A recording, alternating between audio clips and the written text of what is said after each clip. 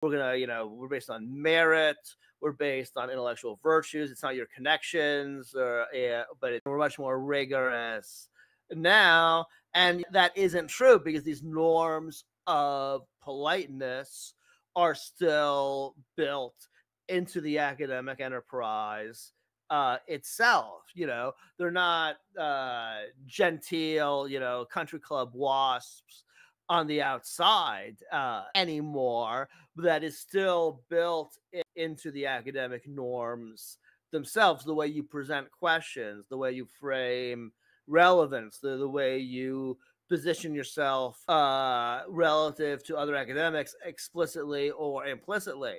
So we're still we're still the finishing school.